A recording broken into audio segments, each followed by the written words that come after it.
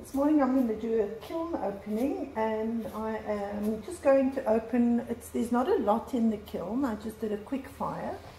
I'm making these cute little bowls for a customer and um, these are the last of them of the set that I had to do for or had to fire. So let's have a look and see what's inside.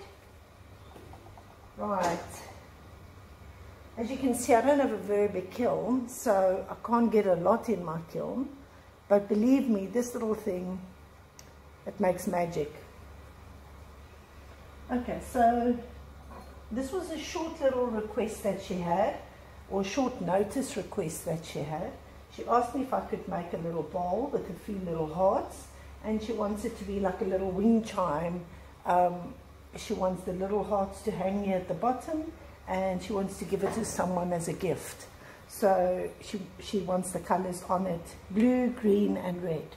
So I just did a bit of a sponge effect and I just sponged it on. And yeah, that is it.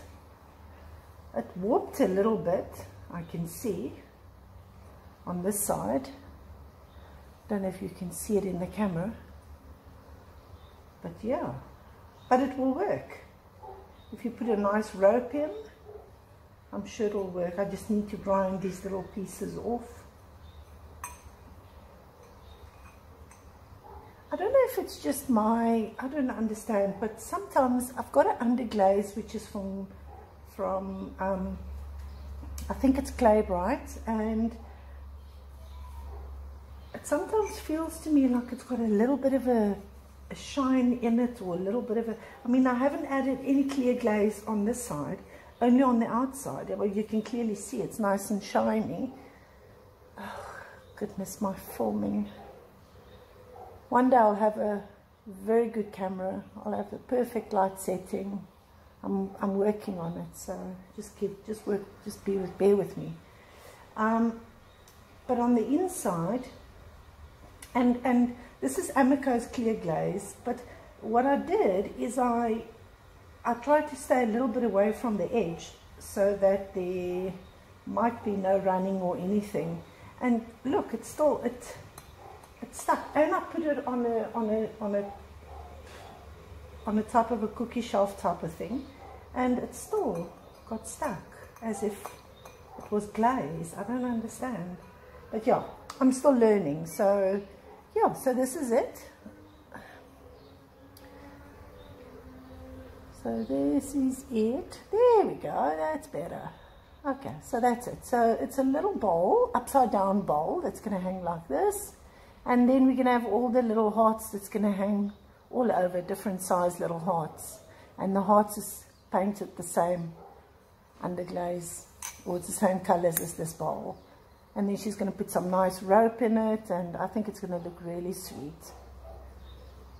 So yeah the inside I must now just dab I think I must just dab a little bit more of the green underglaze here or the red maybe and then just give it a good clear glaze.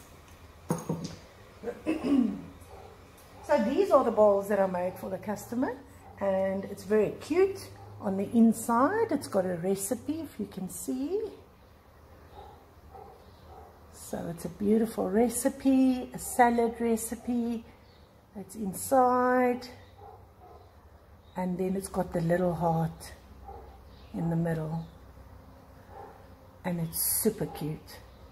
I love these bowls. It takes a while to do because some of the recipes are quite long. But yeah, this is the three bean salad. Outside, it's got a slight carve, if you can see it. And just glazed at the bottom. Or glazed on the outside. And that's these little bowls. They're so cute. It's done in Afrikaans. This recipe. Okay.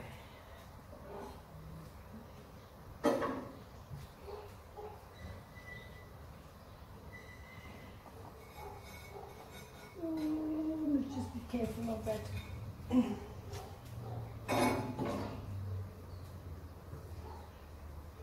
Oh, I love the blue. I love this green blue color.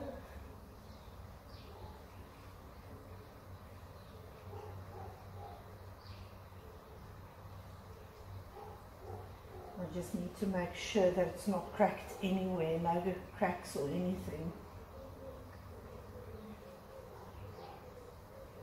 I could have given this a bit of a thicker coat. Strange, I did give it more than three coats on here. But anyway, here we go. So here's the next one. Oh, it's so cute. Okay, so this is the next recipe.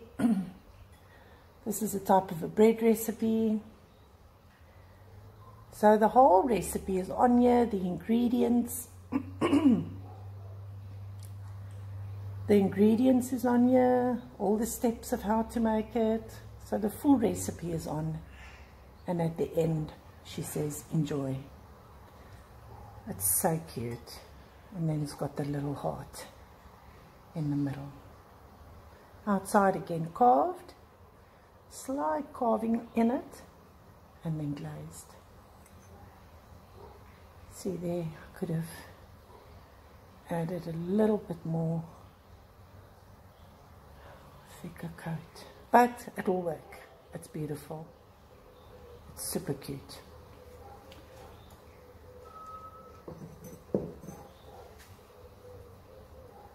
I think out of all the colors that I've done, the white stays my favorite. I love the white. Oh, this white is just oh, so beautiful. Wow, I couldn't have asked for any better. Golly gosh. That is just so cute. So freaking cute. Look at it. This is a pancake recipe in here. Oh, What do you guys think? This is super cute. Also a bit of a carving on the outside. I'm so sorry that my lighting isn't that good my kiln is in our garage. So and I've got this big sliding door here that looks out onto the pool and a lot of light comes in. Um, maybe I should get a curtain here and when I do my forming I can just close up so that the light doesn't come in so much. Yeah this is good. I do like okay so that's it. All good I'm very pleased. I'm very, very pleased with this bowl. This one is absolutely my favorite, the white one.